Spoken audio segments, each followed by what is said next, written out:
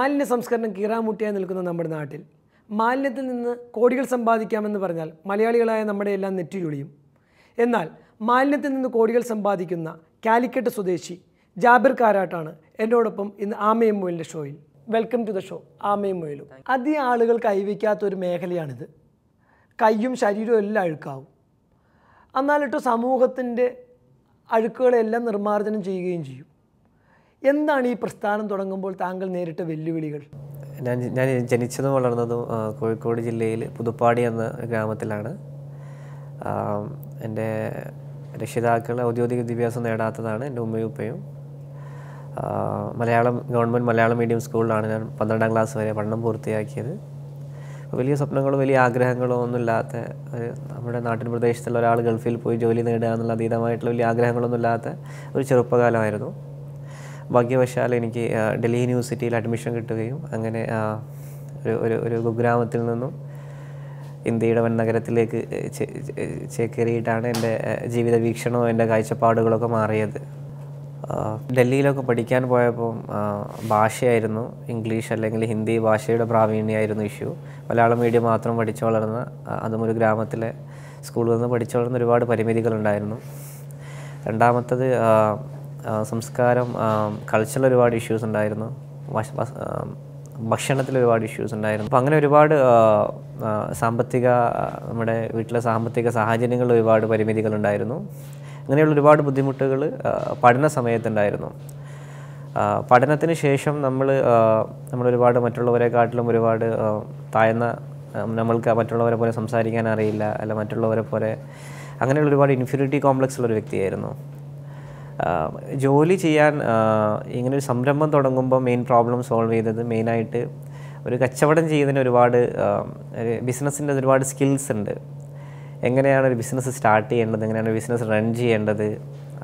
അങ്ങനെയുള്ള ഒരു ഒരു അറിവും ഈ ബിസിനസ് സ്റ്റാർട്ട് ചെയ്തപ്പോൾ അങ്ങനെ ഒരുപാട് തുടക്കത്തിൽ ഒരുപാട് പരാജയങ്ങളുണ്ടായിരുന്നു പക്ഷേ ഇതെല്ലാം നാളെ എന്ത് ചെയ്യണം? സ്വായത്തമാക്കണം.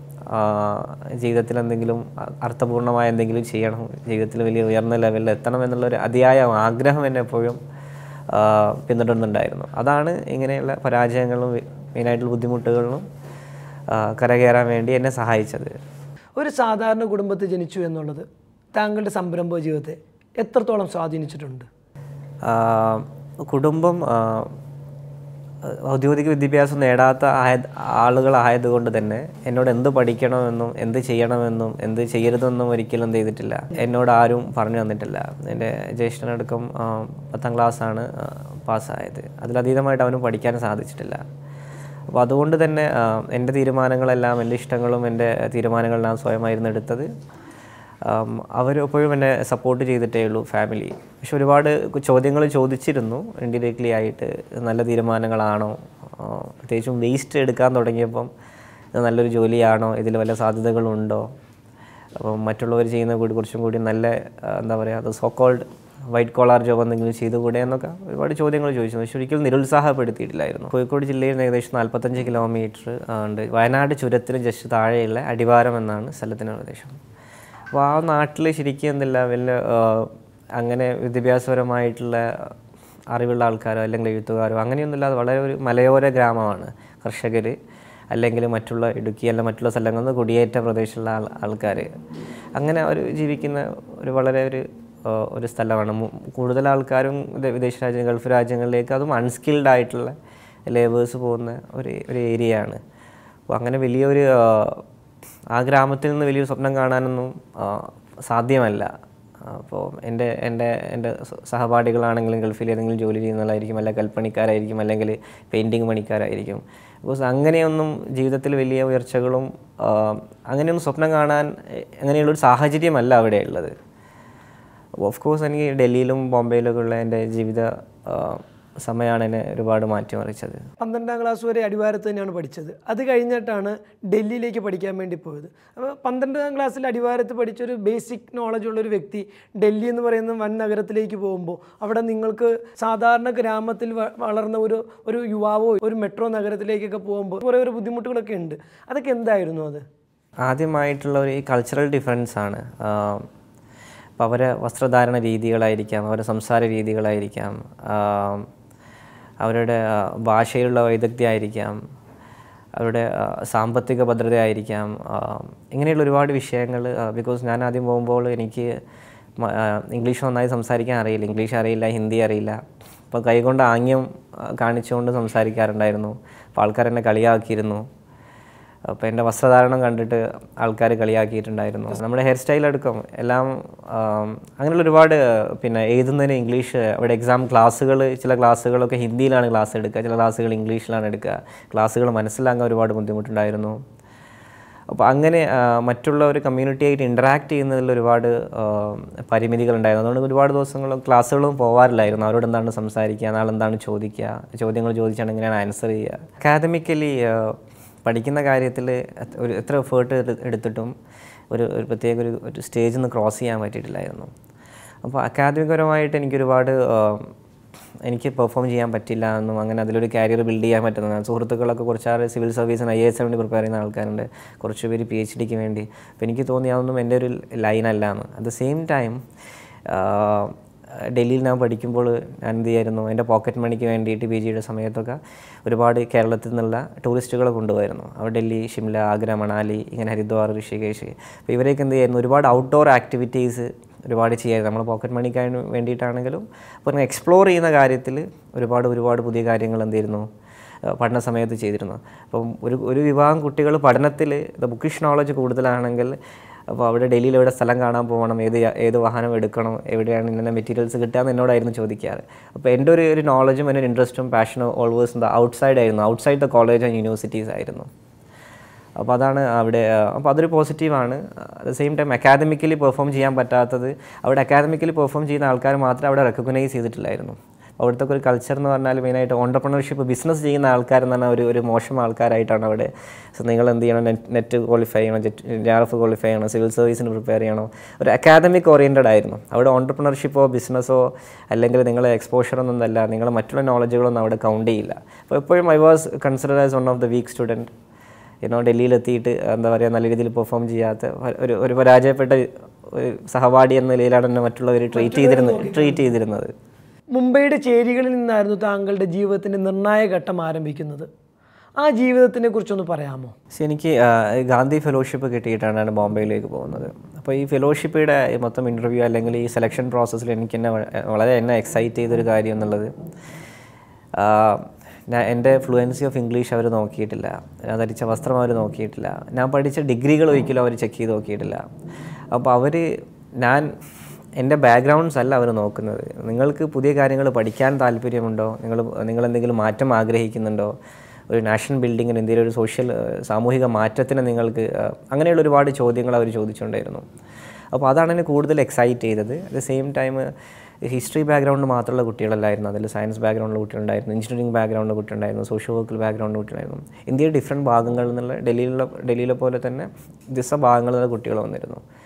അപ്പോൾ അങ്ങനെ ബോംബെ എന്നുള്ള എനിക്ക് ശരിക്കും എന്ത് ചെയ്യും? പിന്നെ I I T I I T ബോംബെയിലുള്ള കുട്ടികളുണ്ട്. സെന്റ് സ്റ്റീഫൻസ് കോളേജ് ഞാൻ സ്വപ്നം കാണുന്ന ഒരുപാട് കോളേജുകളും അവിടെയാണ് ബെസ്റ്റ് മൈൻഡ്സ് ഉണ്ടാവുക എന്നുള്ളത്. അപ്പോൾ ശാന്തിനികേതൻ അങ്ങനെ ഇവിടെ നിന്നൊക്കെയുള്ള കുട്ടികളുണ്ടായിരുന്നു അപ്പോൾ the end of the fellowship I was one of the best fellow ആയിട്ട് അവിടെ സെലക്ട് ചെയ്തു. സെയിം ടൈം ഞാൻ ചെയ്യുന്ന കാര്യങ്ങൾ ഒരുപാട് കാര്യങ്ങൾ എന്ത് ചെയ്യാൻ പറ്റി? എനിക്ക് ഇംപ്ലിമെന്റ് ചെയ്യാൻ പറ്റി ആക്ട് ചെയ്യാൻ പറ്റി. അപ്പോൾ ഞാൻ മനസ്സിലാക്കി ശരിക്കും വായിക്കുക എഴുതുക അല്ലെങ്കിൽ ഈ ബുക്കിഷ് നോളജ് എന്ന് പറയുന്ന മറ്റൊരു ആസ്പെക്ട്സ് ആണ്. ഗ്രൗണ്ടിൽ വർക്ക് ചെയ്യുക അതിൽ റിസൾട്ട് ഉണ്ടാക്കുക അതിൽ ഹാർഡ് വർക്ക് ചെയ്യുക എന്നുള്ള ഒരു- മറ്റൊരു കാര്യമാണ്. അപ്പോൾ അവിടെ ഭാഷയോ നിങ്ങളെ ദേശമോ മറ്റുള്ള കാര്യങ്ങളൊന്നും എന്തല്ല ഒരു പരിമിതിയല്ല എന്നുള്ളതിന് ശരിക്കും എനിക്ക് ബോംബെയുടെ ലൈഫിൽ നിന്നാണ് എക്സ്പീരിയൻസ് ചെയ്യാൻ പറ്റുന്നത്. പിന്നെ ഇമ്പോർട്ടന്റ്ലി ആയിട്ട് നമ്മൾ ഒരു ഒരു ലൈൻ മാത്രമേ എനിക്കറിയായിരുന്നു. അപ്പോൾ ഞാൻ ഒരുപാട് ഇൻസ്പയറിംഗ് ആയിട്ടുള്ള ഒരുപാട് ആൾക്കാരെ ബോംബെയിലെ ഈ വായിക്കുകയും എഴുതുകയും അവരെ കാണാൻ പോവുകയൊക്കെ ചെയ്തിരുന്നു. അപ്പോൾ ഒരുപാട് എന്താ പറയുക ഒരുപാട് സോഷ്യൽ ഓണ്ടർപ്രണർഷിപ്പ് എന്നുള്ള അതാണ് സാമൂഹിക സംരംഭത്വം. എങ്ങനെ ഒരു ബിസിനസ് ചെയ്യാം എങ്ങനെ ഒരു പണം ഉണ്ടാക്കാം എങ്ങനെ നല്ല കാര്യങ്ങൾ ചെയ്യാം. അങ്ങനെ ഒരുപാട് സക്സസ്ഫുൾ ബിസിനസ് മോഡൽസിനെ കുറിച്ച് എനിക്ക് ഒരുപാട് എക്സ്പോഷർ ബോംബെയിൽ നിന്ന് കിട്ടി. അപ്പോൾ അങ്ങനെയാണ് എന്ത് ചെയ്തത്? അല്ലെങ്കിൽ ലൈഫിൽ എന്തെങ്കിലും ഒരു ജോലി ആവുക ഒരു എംപ്ലോയി അല്ല ഒരു എംപ്ലോയർ ആവണം എന്നുള്ളൊരു കോൺസെപ്റ്റിലേക്ക് മാറിയത് ശരിക്കും ഈ ബോംബെ ടൈമിലാണ് മുംബൈ ജീവിതം കഴിഞ്ഞ് തിരിച്ച് നാട്ടിലേക്ക് തന്നെയാണ് താങ്കൾ എത്തിയത് അല്ലേ? അപ്പോൾ നാട്ടിൽ വന്ന് ഈ ഒരു സംരംഭം തുടങ്ങി ഒരു പുതിയൊരു സംരംഭം. അതെന്തായിരുന്നു? ആ സംരംഭം എന്തായിരുന്നു? എങ്ങനെയാണ് അതിന് തുടങ്ങാനുള്ള കാരണങ്ങൾ എന്തായിരുന്നു? ബോംബെയിൽ ഫെലോഷിപ്പിന്റെ അവസാന നാളുകളിൽ തന്നെ ചിന്തിച്ചിരുന്നു. എന്തായിരിക്കണം? ഒരു ഫ്യൂച്ചറിസ്റ്റിക് ആയിട്ടുള്ള എന്തെങ്കിലും ഒരു കാര്യത്തിൽ ചെയ്യണം. അതൊരു സോഷ്യലി സാമൂഹിക പ്രസക്തിയുള്ളൊരു വിഷയമാവണം. സമൂഹത്തിന് ഉപകാരമുള്ള വിഷയമാവണം. അങ്ങനെയുള്ള ബിസിനസ് എന്താണ് എന്ന് ചിന്തിച്ചു തുടങ്ങി. അങ്ങനെ കുറച്ച് യാത്രകൾ ചെയ്തു കുറച്ച് വായിച്ചു. അപ്പോൾ അതിൽ നിന്ന് ഒരു ഇൻട്രസ്റ്റിംഗ് ആയിട്ട് ഞാൻ കണ്ടെത്തിയതാണ് ഈ വേസ്റ്റ് മാനേജ്മെന്റ് എന്നുള്ളത്. കാരണം എന്തുകൊണ്ടാണെന്ന് വെച്ചാൽ ഒന്ന് ജനസംഖ്യ വർദ്ധിച്ചുകൊണ്ടിരിക്കുകയാണ്. അപ്പോൾ ജനസംഖ്യ വർദ്ധിക്കുമ്പോൾ ഒരു ആളോഹരി മാലിന്യ ഉത്പാദന അളവ് എന്നുള്ളത് പതിനൊന്ന് ശതമാനമാണ് ഓരോ വർഷം ഇന്ത്യയിൽ വർദ്ധിക്കുന്നത്. അപ്പോൾ കൂടുതൽ ജനങ്ങൾ എന്ന് പറഞ്ഞാൽ കൂടുതൽ വേസ്റ്റാണ് ഒന്നാമത്തത്. രണ്ടാമത് ജനസംഖ്യയുടെ അർബനൈസ് നഗരവൽക്കരണം കൂടിക്കൊണ്ടിരിക്കുകയാണ്. ടു തൗസൻഡ് ട്വന്റി തേർട്ടി ഒക്കെ ആകുമ്പോഴേക്ക് ഇന്ത്യയിൽ ഫിഫ്റ്റി പെർസെന്റേജ് ആൾക്കാർ നഗരങ്ങളിലാണ് താമസിക്കുക എന്ന് പറയുന്നത്. അപ്പോൾ നഗരത്തിൽ കൂടുതൽ മാലിന്യം കൂടുതൽ രൂക്ഷമായിക്കൊണ്ടിരിക്കുകയാണ്. മൂന്നാമത് നമ്മൾ വികസ്വര രാജ്യമാണ് ഇൻഡസ്ട്രിയൽ കൂടുതൽ പ്രൊഡക്ഷൻ നടക്കുകയാണ്. ഒരുപാട് ഇൻഡസ്ട്രിയൽ വേസ്റ്റ് ഉണ്ടാകും നാലാമത് കുറച്ചൊരു ഉപഭോഗ സംസ്കാരം എല്ലാം വാങ്ങി വലിച്ചെറിയുന്ന ഒരു സംസ്കാരത്തിലേക്ക് ഒരു യൂറോപ്യൻ സ്റ്റൈലിലേക്ക് നമ്മൾ മാറുന്നുണ്ട്. ഇങ്ങനെയുള്ള എല്ലാ ഫാക്ടേഴ്സ് നോക്കുമ്പോൾ വേസ്റ്റ് എന്നുള്ള വിഷയത്തെ ഇത് മാനേജ് ചെയ്യുന്നത് ഏറ്റവും ഇൻട്രസ്റ്റിംഗ് ഇത് മാനേജ് ചെയ്യുന്ന അറൗണ്ട് നയന്റി പെർസെന്റേജും ഇന്നെഫിഷ്യന്റ് ആയിട്ടുള്ള ഗവൺമെന്റ് ആണ്. ഇപ്പോൾ മറ്റുള്ള ടെലികോം സെക്ടർ പോലെ അല്ലെങ്കിൽ മറ്റുള്ള സെക്ടേഴ്സിനെ പോലെ പോലെ ഇലക്ട്രിസിറ്റിയൊക്കെ പോലെ ഇത് പ്രൈവറ്റൈസ് ചെയ്യും. അപ്പോൾ ഇത് പഠിപ്പിക്കാൻ വേണ്ടി പ്രത്യേകം ആക്രി പരിപാടി വേസ്റ്റ് പഠിപ്പിക്കാൻ വേണ്ടി പ്രത്യേക യൂണിവേഴ്സിറ്റിയോ കോളേജുകളോ എം ബി എ ഡിഗ്രികളൊന്നുമില്ല. അപ്പോൾ അതുകൊണ്ട് തന്നെ ഈ രംഗത്ത് ആവശ്യം പ്രൊഫഷണൽസിന് ആവശ്യമുണ്ടാവും ഈ രംഗത്ത് പ്രൈവറ്റ് കമ്പനീസിന് ഒരുപാട് ആവശ്യങ്ങളുണ്ടാവും ഇങ്ങനെ ഒരു ബിസിനസ് പൊട്ടൻഷ്യൽ കണ്ടു. രണ്ടാമത്തത് ഇത് നിലവിലത് കത്തിക്കുകയാണ് ചെയ്യുന്നത് കുഴിച്ചു മൂടുകയാണ് ചെയ്യുന്നത് അല്ലെങ്കിൽ വലിച്ച് ജലാശയങ്ങൾ വലിച്ചെറിയുന്നത്. ഒരുപാട് ആരോഗ്യ പ്രശ്നങ്ങളും പാരിസ്ഥിതിക പ്രശ്നങ്ങളും ഉണ്ട് ഒരു social and environment health and എൻവയോൺമെന്റൽ ഇമ്പാക്റ്റും ഉണ്ട് ഒരു ബിസിനസ് പൊട്ടൻഷ്യലും ഉണ്ട് അങ്ങനെയാണ് ഇത് സെലക്ട് ചെയ്തത്. ഇത് ഏറ്റവും ഇമ്പോർട്ടന്റ് ഇതൊരു ഡേർട്ടി ജോബാണ് ഇതൊരു വൈറ്റ് കോളർ ജോബല്ല അപ്പോൾ ഒരുപാട് പേര് രംഗത്തേക്ക് കടന്നു വരുന്നില്ല വളരെ കുറച്ച് പേര് മാത്രമേ ഇന്ത്യയിൽ ജോലി ചെയ്യുന്നുള്ളൂ. അപ്പോൾ ഇന്നിങ്ങനെ ചെയ്യുമ്പോൾ ഒരു പത്ത് വർഷം കഴിഞ്ഞാൽ ഇങ്ങനെ ഒരു ഇതിനൊരു പൊട്ടൻഷ്യൽ വലിയൊരു പൊട്ടൻഷ്യൽ ഉണ്ട് എന്ന് മനസ്സിലാക്കിയിട്ടാണ് ഈ രംഗത്തേക്ക് ഈ വേസ്റ്റ് മാനേജ്മെന്റ് എന്നുള്ള ഈ ഏരിയ സെലക്ട് ചെയ്യാനുണ്ടായ കാരണം. എന്തായിരുന്നു കമ്പനിയുടെ പേര്? അത് തുടങ്ങുമ്പോഴത്തേക്കും എന്തൊക്കെ ഇൻഫ്രാസ്ട്രക്ചറിലാണ് തുടങ്ങിയത്? ഒരു അഞ്ച് ലക്ഷം ഒരു മുതൽ മുതൽ മുടക്കിൽ ചെറിയ ഗ്രീൻ വേംസ് എന്നുള്ളൊരു സ്ഥാപനമാണ് തുടങ്ങിയത്. ഐഡിയ എന്ന് വെച്ചാൽ വേസ്റ്റ് നമ്മുടെ നാട്ടിൽ കത്തിക്കുകയും കുഴിച്ചും കൂടിയും ചെയ്യുന്ന വേസ്റ്റുകൾ കളക്ട് ചെയ്ത് അത് അത് വാല്യൂ ആഡഡ് ആയിട്ടുള്ള പ്രൊഡക്ട്സ് ആക്കി മാറ്റുക എന്നുള്ളതാണ്. എന്റെ പ്രൊഡക്ട്സ് അല്ല മെയിനായിട്ട് കത്തിക്കുക കുഴിച്ചു മൂടുക ലാൻഡ് ഡൈവേർട്ട് ചെയ്യുക എന്നുള്ളതാണ്. ഉദാഹരണത്തിന് നമ്മൾ ഹോട്ടലുകൾ സ്ഥാപനങ്ങൾ അല്ലെ വാണിജ്യ സ്ഥാപനങ്ങൾ കൂൾബാറുകൾ വീടുകൾ ഇവിടെ നിന്നൊക്കെ എല്ലാ വേസ്റ്റുകളും കളക്ട് ചെയ്യും ഡെയിലി വേസ്റ്റ് കളക്ട് ചെയ്യും. എന്നിട്ട് ഭക്ഷണ മാലിന്യങ്ങൾ നമ്മൾ ഫുഡ് വേസ്റ്റ് ആയി ഭക്ഷണ മാലിന്യങ്ങൾ നമ്മൾ കമ്പോസ്റ്റ് ആക്കി വളമാക്കി കൺവേർട്ട് ചെയ്യും. കുറച്ച് പശുക്കളൊക്കെ ഉണ്ടായിരുന്നു തുടക്കത്തിൽ. അപ്പോൾ പശുക്കൾക്ക് കൊടുക്കാൻ പറ്റുന്ന ഒരുപാട് മെറ്റീരിയൽസ് നമ്മൾ എന്തായിരുന്നു പശുക്കൾക്ക് കൊടുക്കുമായിരുന്നു. മറ്റുള്ള മെറ്റീരിയൽസ് നമ്മൾ കമ്പോസ്റ്റ് ചെയ്യായിരുന്നു പിന്നെ ഉണ്ടാകുന്ന പ്ലാസ്റ്റിക്കുകൾ പേപ്പറുകൾ ചെരിപ്പ് ബാഗ് തുണി കുപ്പിച്ചിൽ തെർമോക്കോൾ നാപ്കിൻസ് ഡാപ്പേഴ്സ് ഇങ്ങനെ എല്ലാ മെറ്റീരിയൽസും എന്ത് ചെയ്യും? ഡിഫറെന്റ് ഗ്രേഡ്സ് ആക്കിയിട്ട് പ്ലാസ്റ്റിക്സിന്റെ ഒക്കെ ഒരുപാട് ഗ്രേഡുകളാക്കിയിട്ട് തരംതിരിച്ച് റീസൈക്ലേഴ്സിന് നമ്മൾ എന്ത് ചെയ്യും? സപ്ലൈ ചെയ്യും. അപ്പോൾ വരുമാന മാർഗം എന്നുള്ളത് ചെറിയൊരു ഫീസ് വേസ്റ്റ് ഡിസ്പോസ് ചെയ്യുമ്പോൾ കടകളിൽ നിന്നും ചെറിയൊരു സ്ഥാപനത്തിൽ നിന്നും ചെറിയൊരു ഫീസ് ഈടാക്കും. രണ്ടാമത്തത് ഈ റീസൈക്കിൾ ചെയ്യുന്ന മെറ്റീരിയൽസുകൾ സെല്ല് ചെയ്തുകൊണ്ട് അവിടുന്ന് ഒരു വരുമാനം. ഈ രണ്ട് വരുമാനങ്ങളുടെയും പിന്നെ കമ്പൈൻ ചെയ്യുമ്പോൾ അതൊരു ഒരു വയബിൾ ആയിട്ടുള്ള ഒരു ബിസിനസ് മോഡലായിരുന്നു സ്റ്റാർട്ടിങ്ങിൽ ചെയ്തപ്പോഴത്തേക്ക് അത് വയബിൾ തന്നെ ആയിരുന്നു അല്ലെങ്കിൽ ഒരു one or two or three സ്റ്റേജിന്റെ ഉള്ളിലാണോ അത് വയബിളിലേക്ക് എത്തിയത്? അതെങ്ങനെയാണ് ആദ്യത്തെ ബിസിനസ് സ്റ്റാർട്ട് ചെയ്തിട്ട് ആദ്യത്തെ ഫെസിലിറ്റി സ്റ്റാർട്ട് ചെയ്ത് ആറ് മാസം കൊണ്ട് ആ ഫെസിലിറ്റി പൂട്ടിപ്പോയി. പൂട്ടിപ്പോയി. ആൾക്കാരൊക്കെ പിരിച്ചു വിട്ടു തൊഴിലാളികളൊക്കെ പിരിച്ചു വിട്ടു. എന്റെ കൂടെ സോക്കോളുടെ ഒരു കോ ഫൗണ്ടർ തുടക്കത്തിൽ എന്റെ കൂടെ ഉണ്ടായിരുന്ന ഒരാളുണ്ടായിരുന്നു. അയാളെ ഗൾഫ് പോകാൻ അനുവദിച്ചു. അപ്പോൾ ചിലവ് ഒരുപാട് കൂടുതലായിരുന്നു വരുമാനം ഒരുപാട് കുറവായിരുന്നു. ഇത് സ്റ്റാർട്ട് ചെയ്തത് ഒരു റോങ് ലൊക്കേഷനിലായിരുന്നു ഗ്രാമത്തിൽ എന്റെ ഗ്രാമത്തിൽ താമരശ്ശേരി എന്ന സ്ഥലത്തായിരുന്നു സ്റ്റാർട്ട് ചെയ്തത്. അപ്പോൾ ചിലവ് കൂടുതലാകുമ്പം ഈ അഞ്ച് ലക്ഷം രൂപ വർക്കിംഗ് ക്യാപിറ്റൽ എന്ത് ചെയ്തു? പെട്ടെന്ന് തന്നെ ആറ് മാസം കൊണ്ട് ഫിനിഷ് ചെയ്യും. അങ്ങനെ പിന്നെ എന്ത് ചെയ്യണം? അപ്പോൾ പരിപാടി നിലവിലെ പരിപാടികൾ സ്റ്റോപ്പ് ചെയ്തു റെഗുലർ ആക്ടിവിറ്റി സ്റ്റോപ്പ് ചെയ്തു. പിന്നെ ഞാനൊരു ഒരു ഒരു മറ്റൊരു ഗവൺമെന്റ് ഒരു പ്രൈവറ്റ് സ്കൂളിൽ സി ബി എസ് ഇ സ്കൂളിൽ കൺസൾട്ടന്റായി വർക്ക് ചെയ്തു. അതിൽ നിന്നിട്ട് വരുമാനം എടുത്ത് അങ്ങനെ സൈമൾട്ടേനിയസ്ലി എന്ത് ചെയ്യും? ഈ സൈഡത്ത് കൂടെ ഒരുപാട് സീറോ വേസ്റ്റ് വെഡ്ഡിങ്ങുകൾ എന്ന് പറയുന്നത്. കോൺഫറൻസുകൾ exhibition food fest regular activity അല്ല. എപ്പോഴെങ്കിലും കല്യാണം ഉണ്ടാകുമ്പോൾ അവിടെ പോയിട്ട് വേസ്റ്റ് മാനേജ് ചെയ്യും. അല്ല ഫുഡ് ഫെസ്റ്റ് ഉണ്ടാകുമ്പോൾ അവിടെ പോയി വേസ്റ്റ് മാനേജ് ചെയ്യും. അങ്ങനെ വൺ ടൈം ഇവന്റ്സുകൾ ടേക്കപ്പ് ചെയ്തു ഗ്രീൻ വോംസിനെ റൺ ചെയ്തുകൊണ്ടായിരുന്നു. രണ്ടാമത് അങ്ങനെ ഒരു ഒരു ആറ് മാസം അത് പോയി. അങ്ങനെ ഒന്നര ഒന്നര വർഷത്തിന് ശേഷം രണ്ടാമത് എന്ത് ചെയ്തു? ഒരു പതിനഞ്ച് ലക്ഷം രൂപ. പിന്നെയും മറ്റൊരാളോട് എന്ത് ചെയ്തു? ഫണ്ട് റേസ് ചെയ്തിട്ട് രണ്ടാമത് സംരംഭം സ്റ്റാർട്ട് ചെയ്തു. കുറച്ച് ബിസിനസ്സുകൾ കിട്ടിത്തുടങ്ങി. അത് സെയിം ടൈം ജനങ്ങൾ സമരം ചെയ്തു. ജനങ്ങൾ പറഞ്ഞു നിങ്ങൾ നല്ല കാര്യമാണ് ചെയ്യുന്നത്. പക്ഷേ ഞങ്ങളെ വീടിന്റെ അടുത്ത് ഞങ്ങളെ സ്ഥാപനത്തിന്റെ അടുത്ത് ഈ വർക്ക് ചെയ്യേണ്ട. ഞങ്ങൾ കണ്ടത് ബ്രഹ്മപുരവും സഹോ എന്താ പറയുക എളിയം പറമ്പ് ഇതുപോലുള്ള വലിയ വലിയ ഡംപിങ് സൈറ്റുകളാണ് ഞങ്ങളെന്ത് ശാസ്ത്രം പറയുകയാണെങ്കിൽ കൂടി ഇത് വർക്ക് ചെയ്യാൻ പോകുന്നില്ല എന്ന് ജനങ്ങൾ സമരം ചെയ്ത് പൂട്ടിച്ചു. അങ്ങനെ ഒന്നര വർഷം കൊണ്ട് രണ്ട് പ്ലാന്റുകൾ എന്ത് ചെയ്തു? ഏകദേശം ഇരുപത് ലക്ഷം രൂപ പോവുകയും ചെയ്തു. രണ്ട് പ്ലാന്റുകൾ പൂട്ടി പോവുകയും ചെയ്തു.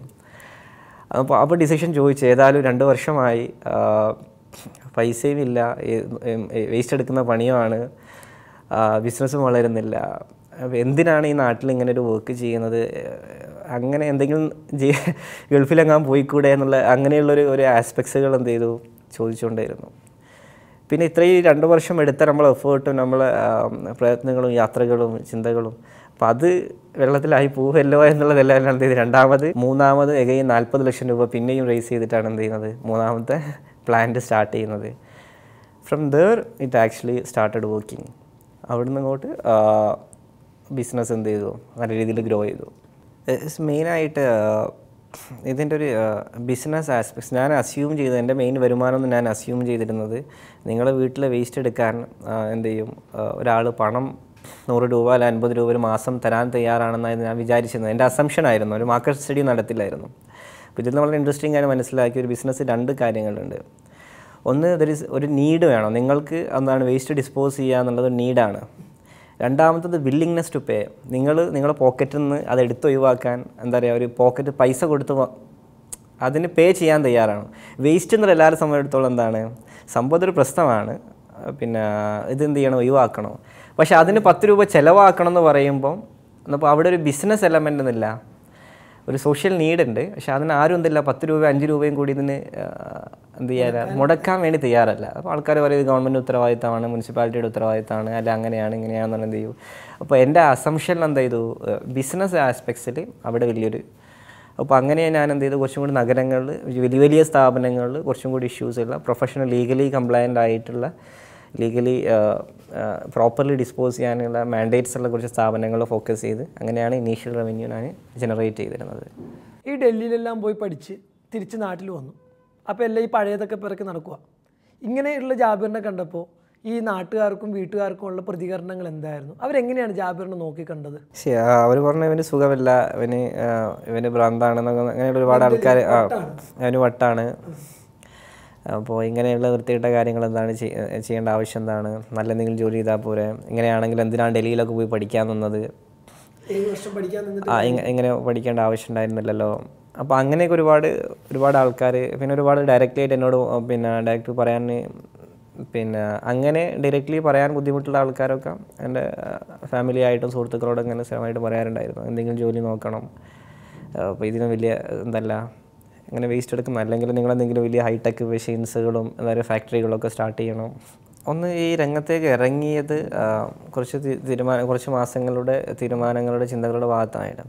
അപ്പോൾ എന്താണ് ഗ്രൗണ്ടിൽ ഏറ്റവും ദ ഫസ്റ്റ് പേഴ്സൺ എന്താണ് ചെയ്യുന്നത് നമ്മുടെ നാട്ടിലെ കുടുംബശ്രീകൾ ചെയ്യുന്ന അതേ ജോലി ഒരു മൂന്ന് മാസം ചെയ്തിട്ടാണ് ഞാൻ എന്ത് ചെയ്തത്? എല്ലാ ദിവസവും രാവിലെ വേസ്റ്റ് എടുക്കാൻ വേണ്ടിയിട്ട് സ്ത്രീകളെ കൂടെ പോകും. എന്നിട്ട് വേസ്റ്റ് എടുത്ത് ഒരു സ്ഥലത്ത് കൊണ്ടുവന്ന് കൈകൊണ്ട് എന്ത് ചെയ്യും? ഇത് ഡിഫറെന്റ് ഗ്രേഡ് ആക്കി തരംതിരിച്ച് അങ്ങനെ എന്റെ ബാലപാഠങ്ങളാണ് ബേസിക്കായിട്ട് വേസ്റ്റ് മാനേജ്മെന്റിൽ അപ്പോൾ അന്നൊക്കെയുള്ള സ്വപ്നം എന്താണ്? ഇന്ന് ഞാനിത് ചെയ്യുന്നുണ്ടെങ്കിൽ നാളെ എന്ത് ചെയ്യണം? പത്ത് പേരെ കൊണ്ട് ചെയ്യിക്കണം നൂറ് പേരെ കൊണ്ട് ചെയ്യിക്കണം ആയിരം പേരെ കൊണ്ട് ചെയ്യിക്കണം. അങ്ങനെ വലിയൊരു ബിസിനസ് എന്ത് ചെയ്യണം? ഇന്ന് ഞാനിത് ചെയ്യുന്നുണ്ടെങ്കിൽ എനിക്ക് നാളെ ആരെടുത്തും പോയിട്ട് എന്ത് ചെയ്യാൻ പറ്റും? ഏത് ലെവൽ ബോട്ടം ലെവലിലും ബിസിനസ്സിന്റെ പറയാൻ പറ്റും. അതുകൊണ്ട് ഫ്രം ദ സ്ക്രാച്ച് സ്റ്റാർട്ട് ചെയ്യണം എന്നുള്ള ഉദ്ദേശം വെച്ചിട്ടാണ് എന്ത് ചെയ്തത്? അന്ന് അത്രയും ഡേർട്ടി ആയിട്ടുള്ള ഈ ജോലി ചെയ്ത് ആദ്യമായിട്ട് സ്ത്രീകളെ നാപ്കിനൊക്കെ ഞാൻ വേസ്റ്റിൽ വേസ്റ്റ് എന്നാണ് ഞാൻ കാണുന്നത് ശരിക്കും. നമുക്ക് ആദ്യമായിട്ട് ഇത് കളക്ട് ചെയ്യുമ്പോഴാണ് നമ്മൾ കാണുന്നത്. എന്റെ കൂടെ വർക്ക് ചെയ്യുന്ന സ്ത്രീകൾ എന്നെ അതിൽ ടച്ച് ചെയ്യാൻ സമ്മതിക്കില്ല. അവർ പറയും ജാബിർ അത് എടുക്കരുത് എടുക്കരുതെന്ന് പറയും. ഞങ്ങൾ എടുത്തോളാം. ഞങ്ങൾ എടുക്കോളാം എന്ന് പറയും സ്ത്രീകൾ അപ്പോൾ അങ്ങനെ അവിടെ തന്നെ സ്ത്രീകളുടെ കൂട്ടത്തിൽ വിദ്യാഭ്യസ്തനായിട്ടുള്ള ഒരാൾ എന്തിനാണ് അവർക്കും ഒരുപാട് കൗതുകമായിരുന്നു എന്തിനാണ് ഇയാൾ വേസ്റ്റ് എടുക്കുന്നത് വേസ്റ്റ് പറക്കാൻ വരുന്നത് വേസ്റ്റ് കൈകൊണ്ട് തരംതിരിക്കുന്നത്? അത്രയും വൃത്തികെട്ട മറ്റുള്ളവന്റെ അവശിഷ്ടമാണ് എന്ത് ചെയ്യുന്നത്? സോ അതിലേറ്റവും അപ്പോൾ ഞാൻ ഏറ്റവും കൂടുതൽ എന്റെ ജോലിയിൽ റെസ്പെക്റ്റ് ചെയ്യുന്നത് എന്റെ ഓഫീസിലിരിക്കുന്ന ആളോ എന്റെ അക്കൗണ്ടിനെ അല്ല. ഈ വേസ്റ്റ് ശരിക്കും കളക്ട് ചെയ്യും സോർട്ട് ചെയ്യുന്ന ആൾക്കാരാണ് ഏറ്റവും കൂടുതൽ റെസ്പെക്ട് ചെയ്യുന്നത്. അതുകൊണ്ട് തന്നെ ജോലിക്കാർക്ക് പ്രത്യേകം എന്ത് ചെയ്യണം? അവരെ ഗ്ലൗസ് ആണെങ്കിലും മാസ്ക് ആണെങ്കിലും അവരെ വാക്സിനേഷൻസ് ആണെങ്കിലും അവരെ വർക്കിംഗ് കണ്ടീഷൻസ് ആണെങ്കിലും നമ്മൾ ഒരുപാട് കെയർ ചെയ്യാറുണ്ട്. Because I know the personally എന്താണ് എങ്ങനെയാണ് how to be you know waste collect ചെയ്യുന്ന ഒരാൾ ഫീലിംഗ് എന്താണ് ഒരാളും മറ്റൊരു ജോലിയോ മറ്റൊരു അവസ്ഥയോ ഇല്ലാത്തത് കൊണ്ടാണ് ഈ ജോലിയിലേക്ക് വരുന്നത്. അവരുടെ ജീവിത സാഹചര്യം അങ്ങനെ ഉള്ളതുകൊണ്ടാണ് അപ്പോൾ അത്രയും ഒരു ഡേർട്ടി ആയിട്ടുള്ള ഒരു ജോലിയാണ് ഇത്. അപ്പോൾ എന്റെ സ്വപ്നം എന്നുള്ളത് ശരിക്കും അത് ഓട്ടോമാറ്റൈസ് ചെയ്യുക ശരിക്കും എന്താണ് മനുഷ്യൻ ഇന്റർവെൻഷൻസ് ഇല്ലാതെ ഹ്യൂമൻ എലമെൻസ് ഇല്ലാതെ എന്ത് ചെയ്യുക ഈ വേസ്റ്റ് മാനേജ് ചെയ്യുക എന്നുള്ളതാണ് എന്റെ ഒരു- വിഷൻ അടുത്ത ഒരു കാലഘട്ടങ്ങളിലേക്ക് വരുമ്പോൾ ഈ വേസ്റ്റ് മാനേജ്മെന്റ് ഇങ്ങനെ കളക്ട് ചെയ്ത് കൊണ്ടുപോകുന്നതിലേക്ക് ആളുകൾ വരുമെന്ന് താങ്കൾക്ക് തോന്നുന്നുണ്ടോ? ഞങ്ങൾ ഇപ്പോഴും മനസ്സിലാക്കിയത് ശരിക്ക് ഇതിന്റെ അവയർനെസ് ജന ഇത് കത്തിക്കുന്ന ഇത് കത്തിക്കുമ്പോൾ നിങ്ങളെ വീട്ടിൽ നിങ്ങളൊരാൾ എന്ത് ചെയ്യുന്നുണ്ട്? പ്രോപ്പർലി വേസ്റ്റ് കളക്ട് ചെയ്ത് ഡിസ്പോസ് ചെയ്യുന്നുണ്ട്. നിങ്ങളെ അയൽവാസി വീട്ടിൽ വേസ്റ്റ് കത്തിക്കുകയാണെങ്കിൽ എന്ത് നിങ്ങൾ ഒബ്വിയസ്ലി നിങ്ങൾ ഒബ്ജക്റ്റ് ചെയ്യുന്നുണ്ട്. രണ്ടാമത് പണ്ടൊക്കെ വേസ്റ്റ് കളക്ട് ചെയ്ത് കൊണ്ടുപോയിട്ട് ഡംപ് ചെയ്യാൻ ഒരുപാട് സ്ഥലങ്ങളുണ്ടായിരുന്നു. ഇപ്പോൾ എല്ലാ ഡംപിങ് സൈറ്റുകളും കേരളത്തിൽ ഓൾമോസ്റ്റ് എക്സെപ്റ്റ് നമ്മളെ കൊച്ചിയിലെ ബ്രഹ്മപുരം അല്ലാത്ത ലാൻഡ് ഫില്ലിംഗ് സൈറ്റുകളൊക്കെ ഷട്ട് ഡൗൺ ആണ്. അപ്പോൾ ഇത് വേസ്റ്റ് എന്തായാലും നൂറ് ശതമാനം ഉണ്ടാവും. അത് നിങ്ങൾ വീട്ടിൽ രണ്ട് ദിവസം വെച്ചാൽ എന്ത് ചെയ്യും? ദുർഗന്ധം ഉണ്ടായിട്ട് നിങ്ങൾ എത്ര വലിയ പണക്കാരനാണെങ്കിലും നിങ്ങൾ എത്ര വലിയ കോടി ഒരു ദിവസത്തിന് കൂടുതൽ അവിടെ വെച്ചാൽ എന്ത് ചെയ്യും? ദുർഗന്ധം ഉണ്ടാവും. ഇതൊരു എസെൻഷ്യൽ സർവീസാണ് ഇപ്പോൾ നിലവിൽ ഇത് ചെയ്യുന്നത് അൺപ്രൊഫഷണൽ ആയിട്ടുള്ള ആൾക്കാരാണ്. അപ്പോൾ ഗവൺമെന്റ് ആണെങ്കിലും ഗ്രാജുവലി എന്ത് ചെയ്യാണ്? ഇതിൽ നിന്ന് വിഡ്രോ ചെയ്യാണ്. അപ്പോൾ ഞങ്ങൾ ഇതിൽ ഒരുപാട് പുതിയ പ്രൊജക്ട്സുകൾ എന്ന് പറഞ്ഞാൽ ഇപ്പോൾ ഡാബർ അല്ലെങ്കിൽ ഗോദ്രേജ് ഐ ടി സി പോലുള്ള കമ്പനികൾ എന്താണ്? അവർ ഇൻവെസ്റ്റ് ചെയ്യാണ്. അവരെ പ്ലാസ്റ്റിക് വേസ്റ്റുകൾ നമ്മൾ തിരിച്ചെടുത്തിട്ട് പ്രോസസ്സ് ചെയ്യണം. അങ്ങനെ ഡിഫറെന്റ് ആയിട്ടുള്ള സോ ഒബ്വിയസ്ലി വേസ്റ്റ് ഉണ്ടാവും. അതിന് പ്രോപ്പർലി ആയിട്ട് ഡിസ്പോസ് ചെയ്യുന്ന ആൾക്കാർ ഒബ്വിയസ്ലി അങ്ങനെ നീഡ് ഉണ്ട്. അത് ശരിക്കും ഗ്രോ ചെയ്തുകൊണ്ടിരിക്കുകയാണ് ചെയ്യുന്നത്. എനിക്ക് തോന്നുന്നു ഇപ്പോൾ പ്ലാസ്റ്റിക് എല്ലാവരും പിന്നെ ഇപ്പോൾ ബാൻ ചെയ്തു. അപ്പോൾ അതിനുശേഷം ഇപ്പോൾ പൊല്യൂഷൻ കൺട്രോൾ ബോർഡ് തന്നെ അത് സെൻട്രൽ പൊല്യൂഷൻ കൺട്രോൾ ബോർഡ് തന്നെ ഇ പി ആർ കൊണ്ടുവന്നിട്ടുണ്ട്. എക്സ്റ്റൻഡ് പ്രൊഡ്യൂസർ റെസ്പോൺസിബിലിറ്റി കൊണ്ടുവന്നിട്ടുണ്ട്. എല്ലാവരും തന്നെ എവിടെ നിന്നാണോ പ്രൊഡ്യൂസ് ചെയ്ത് അവിടെ തന്നെ അത് ഡിസ്പോസ് ചെയ്യണം. അപ്പം വലിയ വലിയ കമ്പനികളെല്ലാം ഈ പറയുന്ന അവരുടെ പ്ലാസ്റ്റിക് മാലിന്യങ്ങൾ തിരിച്ചെടുത്ത് അതിനെ ഡിസ്പോസ് ചെയ്യുന്ന ഒരു സിസ്റ്റത്തിലേക്ക് വരു സിസ്റ്റത്തിലേക്ക് വരുന്നുണ്ട്. അപ്പോൾ അങ്ങനെ വരുമ്പോൾ കോർപ്പറേറ്റുകൾ ഇതിലേക്ക് വരുമ്പോൾ പിന്നെയും ഇതൊരു ഡൊമസ്റ്റിക് ലെവലിലേക്ക് മാറി അതൊരു കോർപ്പറേറ്റ് ലെവലിലേക്ക് ഈ ഒരു ഇൻഡസ്ട്രി വളർന്നു പോകുകയില്ലേ? ശരിക്കും ഓഫ് കോഴ്സ് ഇപ്പോൾ ഇപ്പോൾ ഐ ടി സി കമ്പനി അവരെ മെയിൻ ബിസിനസ് എന്ന് പറഞ്ഞാൽ F M C G products sell ചെയ്യാൻ വേസ്റ്റ് മാനേജ് ചെയ്യാന്നല്ല. അപ്പോൾ അവർ എക്സ്റ്റൻഡ് പ്രൊഡ്യൂസേഴ്സ് ആണെങ്കിൽ അവരെന്താ നമ്മളെപ്പോലുള്ള കമ്പനീസിന് എന്ത് ചെയ്യുന്നത് ഔട്ട്സോഴ്സ് ചെയ്യാൻ ചെയ്യുക വർക്ക് ഇപ്പോൾ കഴിഞ്ഞ മാസം ഞങ്ങൾ ഇ പി ആറിന്റെ പ്രൊജക്ട്സ് ഏകദേശം അറുപത്തഞ്ച് ലക്ഷം രൂപയുടെ കഴിഞ്ഞ മാസം ഞങ്ങൾ എന്ത് ചെയ്തു? ഇ പി ആർ പ്രൊജക്ട്സ് ഞങ്ങൾ ചെയ്തിട്ടുണ്ട്. അപ്പോൾ എല്ലാ കമ്പനികളും ഈ ലോക ലീഗൽ ശരിക്കും നിയമം കൂടുതൽ സ്ട്രിക്റ്റ് ആകുമ്പോൾ നമ്മളെപ്പോലുള്ള ആൾക്കാർക്ക് കൂടുതൽ സാധ്യതകളാണ് കൂടുതൽ വരുന്നത്. അവർക്ക് ഡയറക്റ്റ്ലി ഇൻവോൾവ് ചെയ്യാൻ താല്പര്യമില്ല. അപ്പോൾ അവർ മെയിൻ ബിസിനസ് എന്തല്ല വേസ്റ്റ് എടുക്കലല്ല. അവർ മെയിൻ ബിസിനസ് പ്രൊഡക്ട്സ് സെൽ ചെയ്യാണ്. ഒരു ബിസിനസ് സസ്റ്റെയിൻ ചെയ്യാൻ വേണ്ടിയിട്ടാണ് അവരെന്ത് ചെയ്യുന്നത്? ഈ ആക്ടിവിറ്റിയെ ഫൈനാൻസ് ചെയ്യുകയും ഫണ്ട് ചെയ്യുകയും ചെയ്യുന്നത്. അപ്പോൾ അതിന്റെ അർത്ഥം ഇതിലൂടെ ലക്ഷക്കണക്കിന് തൊഴിലവസരം ഉണ്ടാകാൻ പോവുകയാണ്. ഈ ഇ പി ആർ നിലവിൽ വരുന്നതിലൂടെ ഇപ്പോൾ ഓൾറെഡി വന്നു കഴിഞ്ഞു. പല കമ്പനികളും ഇംപ്ലിമെന്റ് ചെയ്ത് കഴിഞ്ഞു. അപ്പോൾ ഓരോ ടൗണുകളിലും ഓരോ ചെറിയ ചെറിയ വില്ലേജുകളിലും നിങ്ങളുടേതായോ അല്ലെങ്കിൽ ത്രൂ ഔട്ട് ഏജൻസികൾ വഴിയുള്ള കളക്ഷൻ പോയിന്റുകൾ വന്നിട്ട് ഈ വേസ്റ്റിനെ കളക്ട് ചെയ്ത് ഒരു പ്രോപ്പർ ഡിസ്പോസിങ് സിസ്റ്റമായിട്ട് അത് കമ്പനികൾ തന്നെ അത് പേ ചെയ്ത് തിരിച്ചെടുക്കുന്ന ഒരു ലെവലിലേക്ക് അതിന് വളർന്നു വരിക. ആളുകളിലേക്ക് എത്തി തുടങ്ങുന്നേ ഉള്ളൂ. എനിക്ക് തോന്നുന്നു ഒരു- one year one and half ഇയറിനുള്ളിൽ ഇവിടെ ആളുകൾക്ക് അതിനെക്കുറിച്ചുള്ള ബിസിനസ് സാധ്യതകൾ മനസ്സിലാക്കും എനിക്ക് തോന്നുന്നു അപ്പോൾ താങ്കളുടെ സ്വപ്നം എന്തായാലും പോവണിയും ഇത്രയും വർഷം കാത്തിരുന്ന ആ ഒരു കാര്യങ്ങളിലെല്ലാം സക്സസ് ആയെന്നുള്ള വിശ്വാസത്തിലേക്ക് എത്തും അല്ലേ? നൂറ് ശതമാനം. ഒരുപാട് സി ഈ രംഗത്ത് ഒരുപാട് ബിസിനസ് പൊട്ടൻഷ്യൽസ് ഉണ്ട്. നമ്മുടെ ഉദാഹരണത്തിന് സ്ത്രീകളുടെ മുടി അഞ്ച് ഇഞ്ചിന് മുകളിലുള്ള മുടിക്ക് ആയിരം കിലോ മുടിക്ക് വൺ ടൺ മുടിക്ക് മൂന്ന് ലക്ഷം രൂപയാണ് അതിന്റെ എന്ത് പ്രൈസ് ആണുങ്ങൾ ആണുങ്ങളെ മുടി അഞ്ചിഞ്ചിന് താഴെയുള്ള മുടികൾ പുരുഷന്മാരുടെ മുടിക്ക് അതിന് അതിന് മറ്റൊരു അമിനോ ആസിഡ് മറ്റൊരു പ്രോസസ്സാണ് കേരളത്തിൽ സലൂണിൽ നിന്ന് വേസ്റ്റ് ഒന്നും എന്തില്ല കളക്ട് ചെയ്യപ്പെടുന്നില്ല. അപ്പോൾ മുടി സലൂൺ വേസ്റ്റ് എന്ന് പറഞ്ഞാൽ വലിയൊരു ഡൊമൈനാണ് മറ്റൊരു ഡൊമൈൻ മേ ബി ഇപ്പോൾ ഞങ്ങൾ പുതിയ പ്രൊജക്ട്സ് ഞങ്ങൾ ചെയ്യുന്നത് വെച്ചാൽ എക്സ്പയർഡ് കഴിഞ്ഞ ഫുഡ് പ്രൊഡക്ട്സുകളാണ് എക്സ്പയർഡ് ഡേറ്റ് കഴിഞ്ഞ ആട്ടയും ബിസ്ക്കറ്റ്സും ചോക്ലേറ്റ്സും നൂഡിൽസും ഇതുപോലെ ഒരുപാട് food പ്രൊഡക്ട്സുകളുണ്ട് five percentage of these F M C G എല്ലാ ബ്രാൻഡ് പ്രൊഡക്ട്സുകളും എന്താണ്? എക്സ്പയർ ഡേറ്റ് കഴിഞ്ഞതായിരിക്കും അല്ലെങ്കിൽ ഡാമേജ്ഡ് ആയിരിക്കും. അപ്പോൾ അങ്ങനെ ഒരുപാട് ഫുഡ് പ്രൊഡക്ട്സ് അല്ലെങ്കിൽ ഗ്രീൻ ഡിസ്ട്രക്ഷൻ എന്നുള്ള മറ്റൊരു പ്രൊജക്ട്സ് ഞങ്ങൾ ചെയ്യുന്നുണ്ട്. പിന്നെ മെഡിസിൻ വേസ്റ്റുകൾ എക്സ്പയർ ഡേറ്റ് കഴിഞ്ഞ മെഡിസിൻസ് മറ്റൊരു പ്രൊജക്ട്സാണ് കൺസ്ട്രക്ഷൻ വേസ്റ്റുകൾ അപ്പോൾ വേസ്റ്റ് എന്നുള്ളത് വലിയൊരു വലിയൊരു ഡൊമൈനാണ് അപ്പോൾ അതിൽ തന്നെ multiple business opportunities business opportunities ഉണ്ട്. സോ അതുകൊണ്ട് തന്നെ ഇതിലെ പൊട്ടൻഷ്യൽ എന്നുള്ളത് ഒരു വൺ ബിസിനസ് മാത്രം ചെയ്യണമെന്നില്ല. ഇതിൽ മൾട്ടിപ്പിൾ സാധനങ്ങൾ എന്ത് ചെയ്യാൻ പറ്റും? ഇതിൽ ചെയ്യാൻ പറ്റും. നിലവിൽ നമ്മൾ കാണുന്ന ഒരു വീടുകളിൽ നിന്നോ വാണിജ്യ സ്ഥാപനങ്ങളിൽ നിന്ന് വരുന്ന വേസ്റ്റ് സ്ട്രീംസ് മാത്രമല്ല ഇതിലുള്ളത്. താങ്കൾക്ക് വിവാഹം കഴിക്കണമെന്ന് ആഗ്രഹിച്ചപ്പോൾ ഏതെങ്കിലും കാരണവശാൽ താങ്കളുടെ തൊഴിൽ താങ്കൾക്കൊരു ബാധ്യതയായിരുന്നു? പക്ഷേ എനിക്ക് എനിക്ക് വ്യക്തിപരമായിട്ട് ഒരുപാട് എനിക്ക് പ്രോബ്ലംസ് ഒന്നും നേരിട്ടിട്ടില്ലായിരുന്നു. പക്ഷേ എന്റെ എന്റെ സറൗണ്ടിങ്സിലുള്ള ആൾക്കാർക്ക് ഇവന് പെണ്ണ് കിട്ടുമോ? ഇവൻ ആരാണ് പെണ്ണ് കൊടുക്കുക? ഇവന് ഇവൻ എന്താണ് ജോലി എന്ന് പറയുക? അങ്ങനെയൊക്കെയുള്ള ഒരുപാട് ചോദ്യങ്ങളുണ്ടായിരുന്നു. അപ്പോൾ ഞാൻ എന്നെ സ്വയം വിളിക്കാറ് ഗാർബോളജിസ്റ്റ് എന്നായിരുന്നു. Someone who learns a science of garbage അപ്പോൾ അങ്ങനെയാണ് അപ്പോൾ ആൾക്കാർക്ക് എന്താണ് ഗാർഗബോളജിസ്റ്റ് എന്ന് അറിയില്ല. പിന്നെ ഞാൻ പറയും എന്റെ ഫേവറേറ്റ് സബ്ജക്റ്റ് എന്നുള്ളത് ട്രാഷണോമിക്സ് ആണെന്ന് പറയും. അപ്പോൾ എങ്ങനെയാണ് ട്രാഷ് എന്ന് വാല്യൂ ഡിറൈവ് ചെയ്യുക? ഇതാണ് എന്റെ ഫേവറേറ്റ് സബ്ജക്ട്സ്. പിന്നെ എന്നെ സ്വയം വിശേഷിപ്പിക്കാറ് ഇക്കോ പ്രണർ എന്നാണ് വിശേഷിപ്പിക്കാറ്.